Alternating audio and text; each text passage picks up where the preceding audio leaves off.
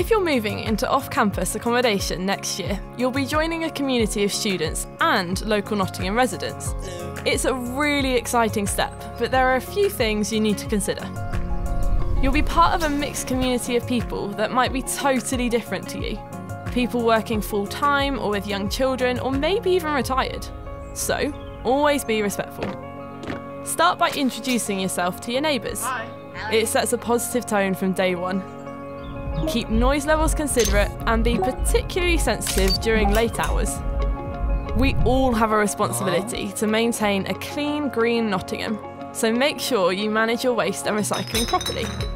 Put your bins out on time and don't forget to bring them back in, keeping the streets clear.